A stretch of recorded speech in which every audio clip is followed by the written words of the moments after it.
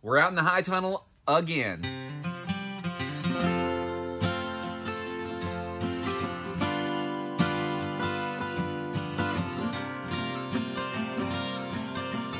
I did a video the other day of an update in here.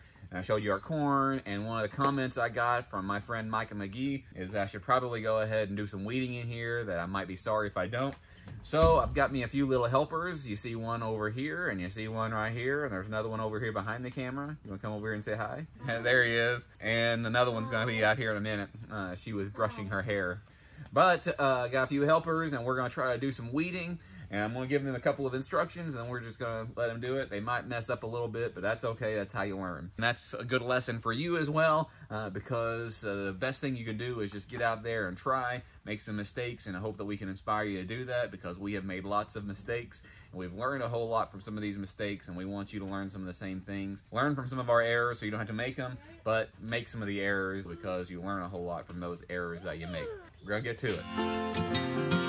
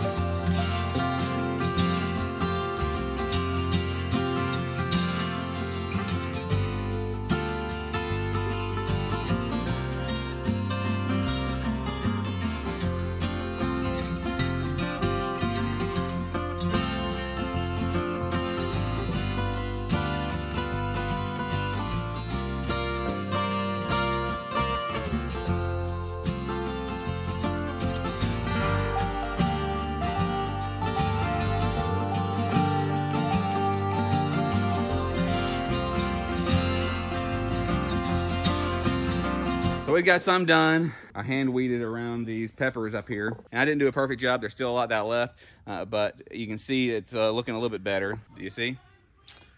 There's still a lot of weeds around these tomatoes right here. So I still got a bit more to do. I haven't done any weeding at all in the last couple of weeks. I'm gonna try to make a habit of getting the kids out here to do a bit more of it because uh, they need to learn.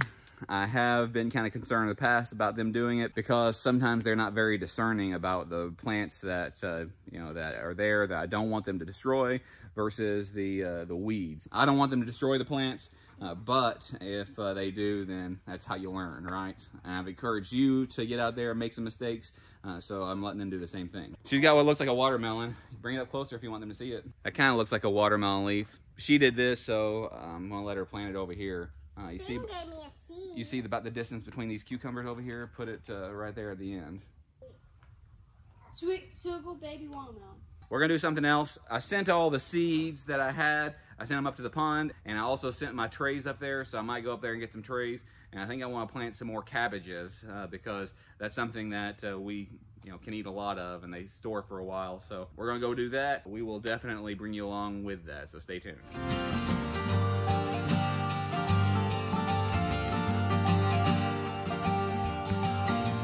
All right, so the other thing that we're gonna do today is start some plants. We started some lettuce out in the high tunnel, Rue and I did, but uh, it didn't do very well. Most all of it didn't germinate, and the ones that did germinate, it didn't do very well because it's so warm in there. However, I'm gonna try this time to start some in advance. So uh, this may or may not work. We are just experimenting. We will give you an update later. That other lettuce that we did did not work. This Grand Rapids tip burn resistant.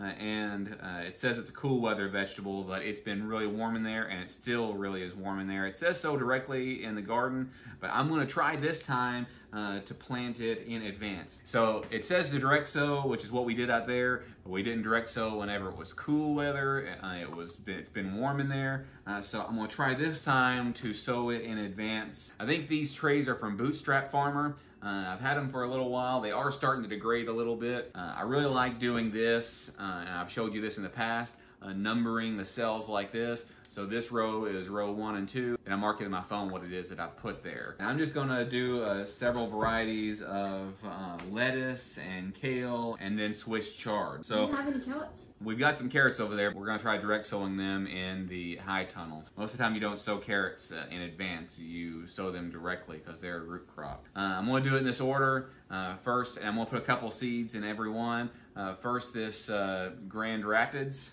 That's gonna be in cells one and two. Then I'm gonna try this iceberg lettuce. I think this came from the dollar store. Then I'm gonna try this burpee lettuce. The kids picked this up at a seed swap. Then I'm gonna try this tennis ball lettuce. These seeds are kind of old, packed for 2018. Then I'm gonna try this uh, uh, this blue scotch kale. It's kind of old as well. If it doesn't work out, it doesn't work out. And then I'm gonna try this Swiss chard. I tried that this earlier this year. I tried direct sowing it. Didn't work out very well for me, but we're gonna try it again. Eventually, I'm gonna get these things where it works out really well. What you have to do for your garden is to decide what you are going to eat. Grow what you're going to eat. I might grow this stuff this year, and if I hate it, if we hate it, we're not gonna grow it anymore. If it's something that's very productive, uh, that's easy to grow, we might go ahead and grow it just as kind of a, a preparedness food. Uh, but I'm gonna try all these, and we'll let you know at the end of the season if it works out, and also if we like it or not and that'll decide if we do these uh, in the future as well. So let me get this going. Let's plant some seeds.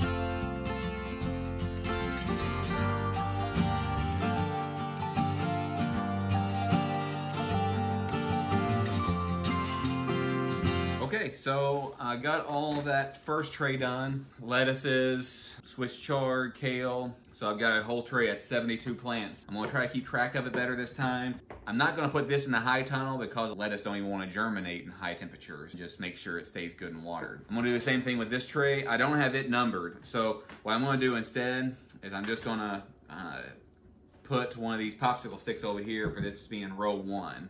So this is row one, and I'll know to go from this direction. I've got a bunch of cabbages over here. Uh, I've got uh, some mammoth red rock cabbage. Then I've got some that a, uh, uh a viewer sent me. Milk cabbage or MHK cabbage, I'm not sure. Kohlrabi, red acre cabbage, green cabbage, Chinese cabbage. It might be mixed cabbage instead of milk cabbage. I don't know what it is.